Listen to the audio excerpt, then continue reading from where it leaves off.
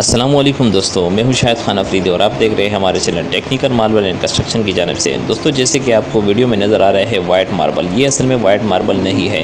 یہ ہے بوٹی سینا کریم ماربل۔ بوٹی سینا کریم ماربل میں تین میجر قسم کا ماربل ہوتا ہے۔ نمبر ون پہ کچا کریم، نمبر سیکنڈ پہ میڈیم کریم، نمبر تھرڈ پہ پرفیکٹ یعنی کہ پکا کریم۔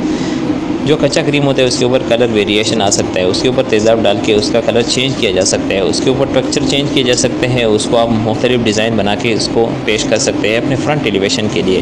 سیکنڈ کو بھی جو ہے نا، آپ کو فرنٹ ایلیویشن کے لیے استعمال کر سکتے ہیں، لیکن وہ اتنا کچا نہیں ہوتا، وہ میڈیم قسم کا ہوتا ہے، اس کے اوپر آپ گلوکاری، نقش و نگاری کر سکتے ہو۔ اس کو جو ہے نا، اس طرح آپ فرنٹ ایلیویشن پہ استعمال کر سکتے ہو۔ اور جو نمبر تھرڈ پہ ہے، پرفیکٹ کریم۔ آپ اس کو سیڑھیوں کے لیے استعمال کر سکتے ہو، اپنے کچن کے لیے استعمال کر سکتے ہو، فلورنگ کے لیے استعمال کر سکتے ہو۔